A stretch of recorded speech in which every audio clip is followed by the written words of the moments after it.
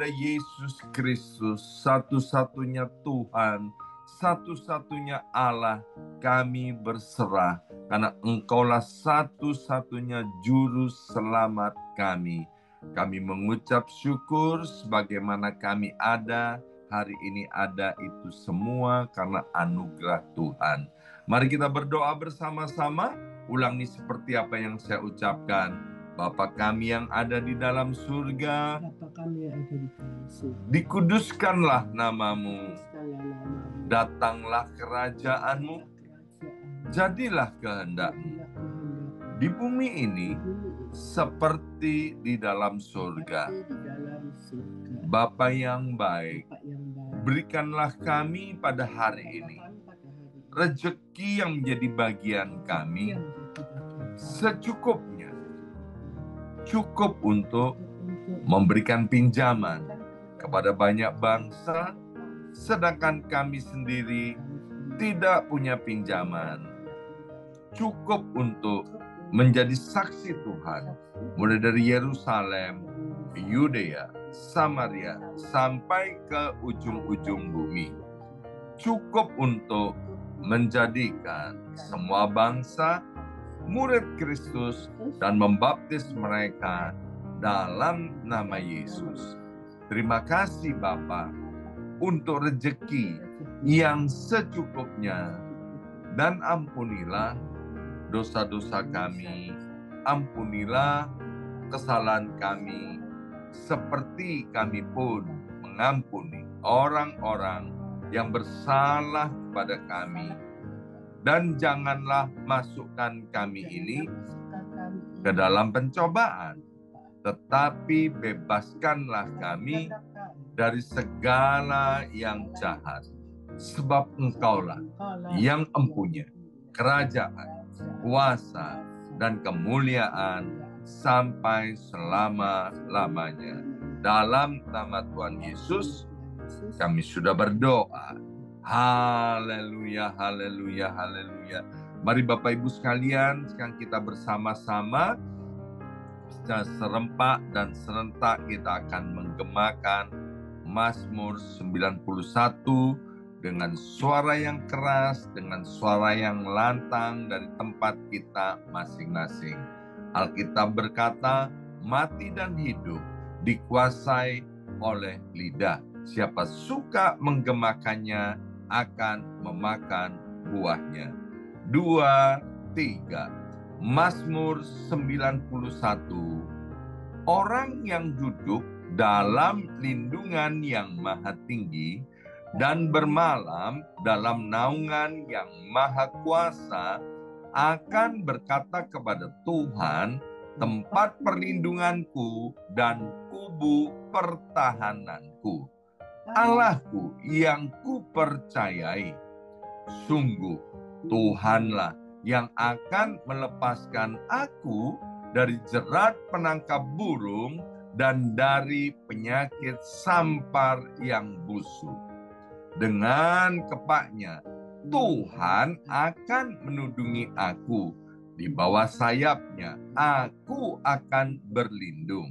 Kesetiaan Tuhan ialah perisai dan pagar tembok. Amin, amin, amin. Terjadi, terjadi di dalam nama Tuhan Yesus. Aku tak usah takut terhadap kedahsyatan malam, terhadap panah yang terbang di waktu siang, terhadap penyakit sampar yang berjalan di dalam gelap, terhadap penyakit menular yang mengamuk di waktu petang. Walau seribu orang rebah di sisiku dan sepuluh ribu di sebelah kananku, tetapi itu tidak akan menimpa aku. Aku hanya menontonnya dengan mataku sendiri dan melihat pembalasan terhadap orang-orang fasik. Sebab Tuhan ialah tempat perlindunganku yang maha tinggi telah kubuat tempat perteduhanku. Amin, amin, amin. Terjadi, terjadi, di dalam nama Tuhan Yesus. Malapetaka tidak akan menimpa aku dan tulah tidak akan mendekat kepada kemahku. Sebab malaikat-malaikat Tuhan akan diperintahkan oleh Tuhan kepadaku untuk menjaga aku di segala jalanku. Para malaikat Tuhan akan menatang aku di atas tangannya, supaya kakiku jangan terantuk kepada batu. Singa dan ular tedung akan aku langkai. Aku akan menginjak anak singa dan ular naga. Amin, amin, amin. Terjadi, terjadi di dalam nama Tuhan Yesus. Sungguh, hatiku melekat kepada Tuhan maka Tuhan akan meluputkan aku, Tuhan akan membentengi aku, sebab aku mengenal nama Tuhan. Bila aku berseru kepada Tuhan, Tuhan akan menjawab. Tuhan akan menyertai aku dalam kesesakan. Tuhan akan meluputkan aku dan memuliakan aku. Dengan panjang umur akan Tuhan kenyangkan aku dan akan Tuhan perlihatkan kepadaku keselamatan daripadanya. Amin, amin, amin. Terjadi, terjadi di dalam nama Tuhan Yesus. Terima kasih ya Abah ya Papa untuk kesempatan yang luar biasa ini. Sebentar kami mau buka hati kami untuk diisi oleh kebenaran firman Tuhan. Biarlah firman-Mu itu menjadi pelita buat kaki kami dan terang buat jalan hidup kami. Dalam nama Yesus yang siap mendengarkan firman Tuhan, angkat jempolnya ke depan dan katakan amin tiga kali. Amin, amin, amin. Salam kebangkitan, salam penuaian. Semangat pagi. Semuanya semangat pagi. Apa kabarnya Bapak Ibu semuanya? Luar biasa dahsyat ajaib. Senang sekali hari ini hari Senin 27 Mei 2024 boleh bersama-sama kembali dengan Bapak Ibu yang saya percaya mencintai dan mengasihi Tuhan. Hari ini di Amerika Serikat adalah hari libur ya, Memorial Day atau Hari Pahlawan. Tapi Bapak Ibu masih mau bangun pagi dan kemudian bersama-sama menyembah, memuji Tuhan, mendengarkan firman Tuhan. Karena Bapak Ibu semua adalah orang-orang yang luar biasa dan cinta akan Tuhan ya.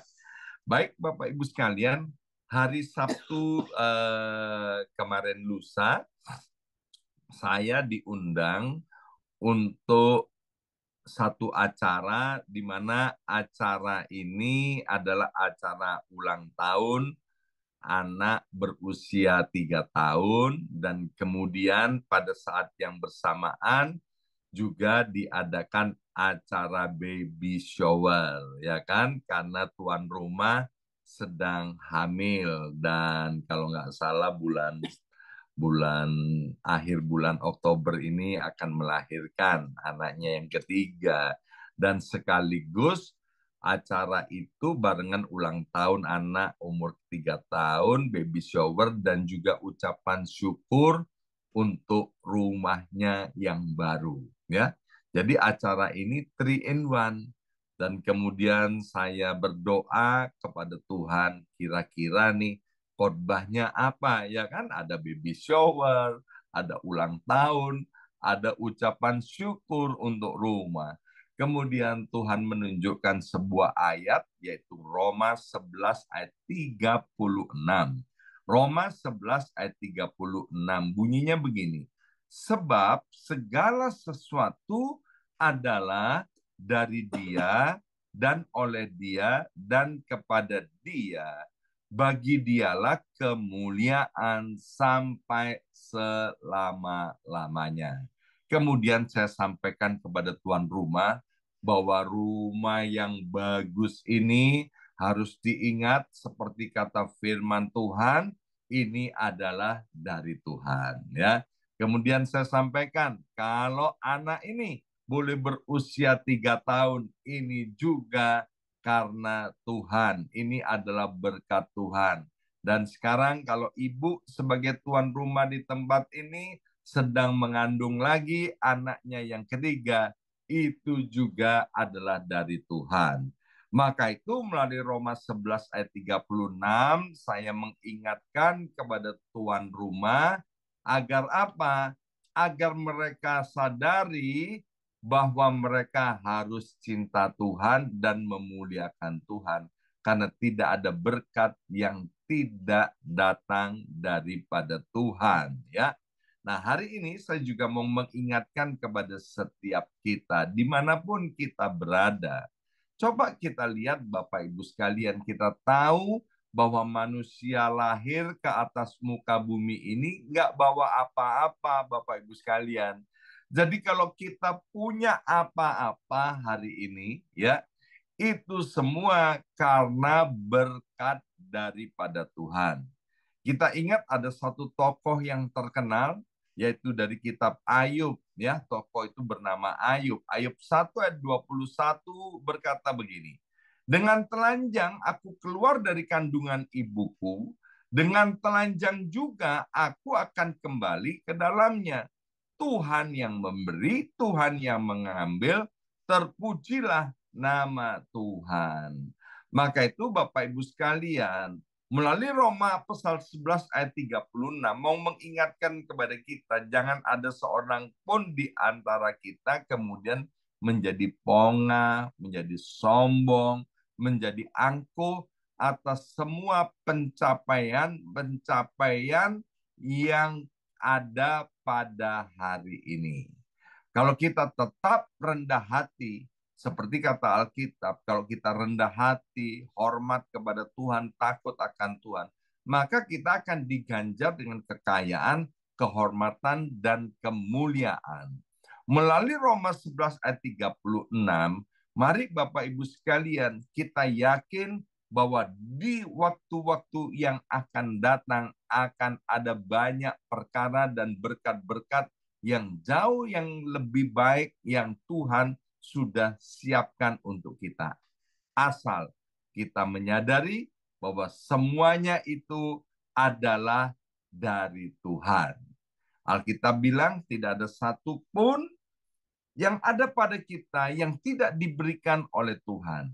Tidak ada satu pun yang ada pada kita yang tidak kita terima dari Tuhan. Ya, mungkin kita bisa merenungkan hari ini kita diberkati dengan keluarga. Kalau saya diberkati dengan punya istri yang baik, kemudian Tuhan anugerahi anak-anak, kemudian Tuhan anugerahi segala sesuatu yang hari ini saya bisa nikmati, itu semua saya menyadari bukan karena kuat dan gagah saya, bukan kuat gagah manusia, tapi semuanya karena kemurahan Tuhan ya satu kali saya pernah diajak oleh teman untuk pergi membeli sarung tangan, ya sarung tangan karena waktu itu musim dingin. Kemudian kami masuk ke sebuah toko di Manhattan di di Fifth Avenue, Bapak Ibu sekalian.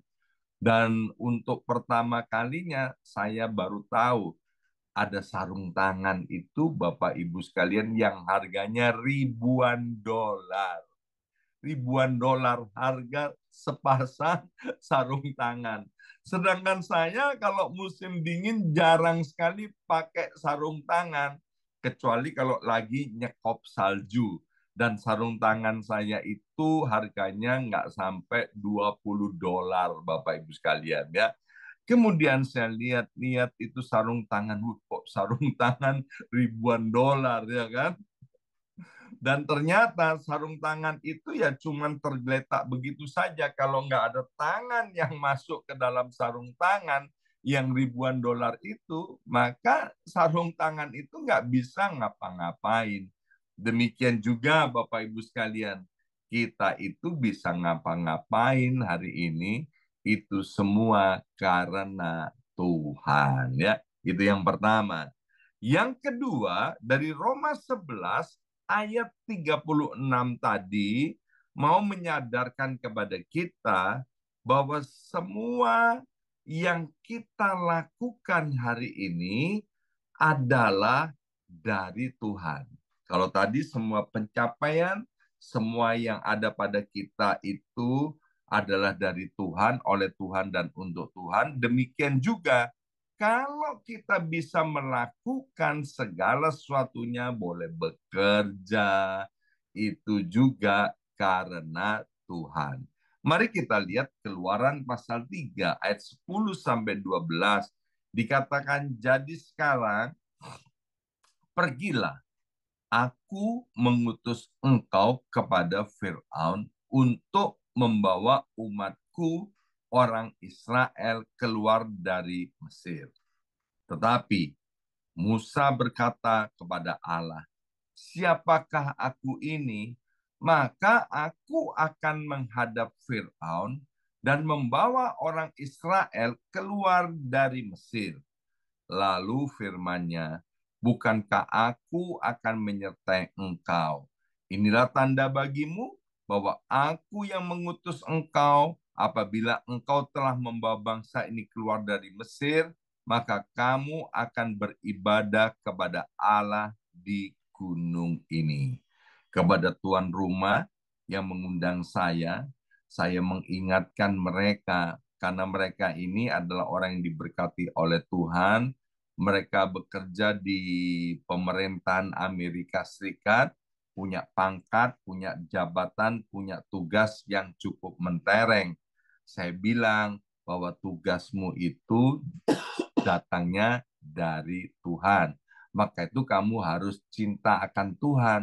Bukti cinta kepada Tuhan yaitu ditulis dalam Keluaran 3 10 sampai 12 tadi yaitu kita harus rajin beribadah kepada Tuhan. Jangan kemudian kalau sudah diberkati semakin diberkati malah menjauh daripada Tuhan. Bapak Ibu sekalian, bukan begitu. Orang yang menyadari kalau berkat itu dari Tuhan, tugas-tugas yang dapat dia kerjakan itu dari Tuhan, kesehatan itu dari Tuhan, sehingga dia bisa tetap bekerja dan berkarya, tentu dia akan membuat hatinya semakin dekat dengan Tuhan bukan jauh daripada Tuhan. Justru Tuhan harus menjadi nomor satu di dalam kehidupannya.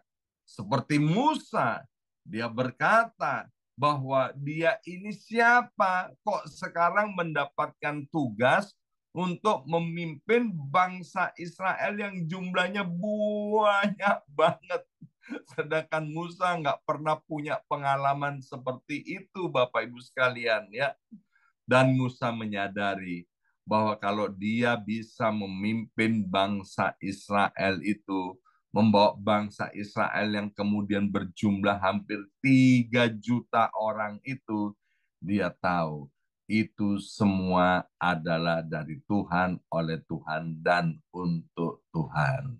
Tuhan mengingatkan kembali kepada kita hari ini, mungkin kita sebagai ibu rumah tangga, mungkin kita sebagai karyawan, karyawati, atau mungkin kita sebagai kaum profesional, atau mungkin kita sebagai pengusaha, sebagai bos, sebagai pemilik usaha, sebagai orang yang punya toko, sebagai wira swasta.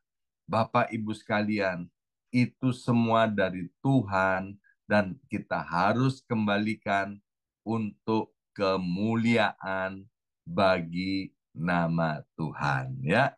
Dan yang ketiga, Bapak Ibu sekalian, bahwa Tuhan mau semua yang kita capai itu untuk kemuliaan nama Tuhan.